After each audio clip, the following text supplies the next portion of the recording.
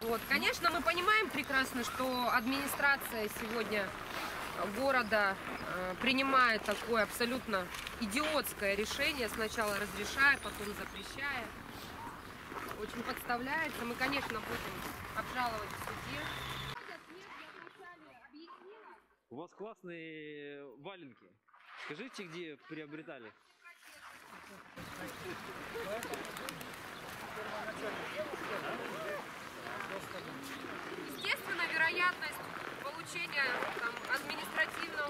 Взыскания, ну это вообще никогда нас не останавливает.